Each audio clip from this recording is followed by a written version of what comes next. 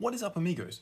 Today we're talking about vortex filaments and sheets and this is in an effort to show how you can decompose really any object in potential flow in terms of vortices, vortex filaments and vortex sheets and then use that to then calculate the lift over them. So to begin with, let's say we have a regular line, it goes along and we have a circulation to it. So it it rotates around. So this is effectively a vortex at one end, a vortex at another end, and we have a line connecting them, and this is really just a vortex the entire way, just stretched out into a line. That is called a vortex filament. And this vortex filament has a circulation of gamma, let's say. Little gamma, because big gamma is usually used, we'll use it later on, but little gamma. And we can have a whole bunch of lines, which are all running effectively parallel to each other, and they all have their own circulation around. So they're all vortex filaments. And this then effectively creates a sheet because we have all these filaments very close together and we can approximate it by looking, this is an isometric view, by looking straight side on, we get more like a, a view like this where we have these vortex filaments, five, five, okay. And then we have a line connecting them effectively and they run from A to B and they all have these rotations. So these vortex filaments by themselves is just one entity. Putting them all together, you can then approximate them as a vortex sheet. Now, going from A to B is, we'll use the value S, and gamma, little gamma changes with S along because we have all these different vortices with these vortex filaments with different little gammas, different strengths. So that's all well and good. And now let's say we have a point in the flow here, and let's call this point D. And from here to the third vortex filament is a distance r. Now the length that this third vortex filament will act over is effectively halfway to halfway approximately, and that distance is ds. So ds is referring to this distance here that this third vortex filament is acting over, and we know that if we were to multiply uh, gamma dot ds, that is the resulting strength of this vortex filament for this region. And we know from other videos in, in terms of vortices that every vortex will induce the flow around it.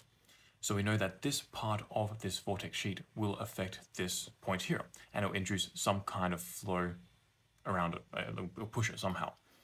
And we know what the velocity is dv, this is the induced velocity on this point based on this small section here, is minus gamma dot ds on 2 pi r. And this is important because the 2 pi r part comes from a uh, circumference of a circle, and the gamma dot ds is the strength of this small part here. So, in terms of the velocity of this section here is inducing on this, that's quite easy. But we know that all of these points are going to be inducing a velocity here, and every other point in the field as well. So that's quite difficult to go through manually and figure out each single one. So it's better to figure out what the velocity potential is because we know from this video that you can decompose the velocity potential into different region into different points. So as long as you know what the coordinates are, you can figure out what the velocities are at that point based on the velocity potential by deriving different properties.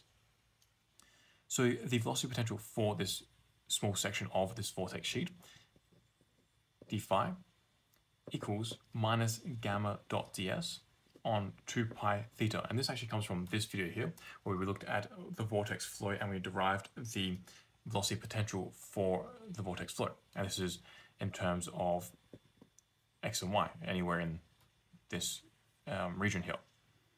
So I want to integrate along the entire point because along this entire sheet because that will give us the entire vort uh, velocity potential and then we can derive any vortices, any velocities in this field.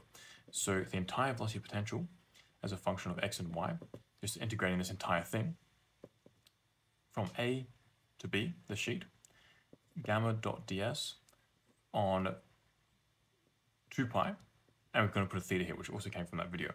And this is a constant, so we can move that out the front here, so that then it goes to minus, uh, 1 on 2 pi, to go from A to B of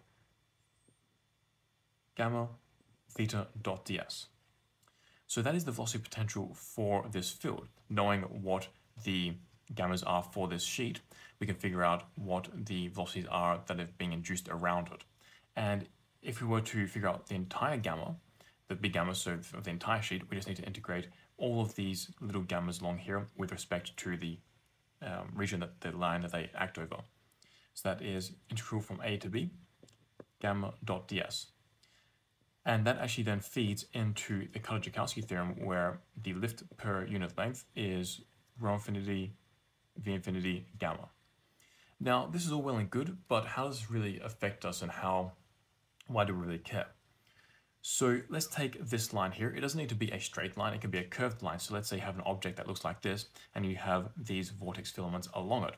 Well, you can do the exact same thing for this line and figure out what the circulation is around it, what the velocity potential is around it, all these different points that it's inducing. You figure out what the length, the um, lift is of this region.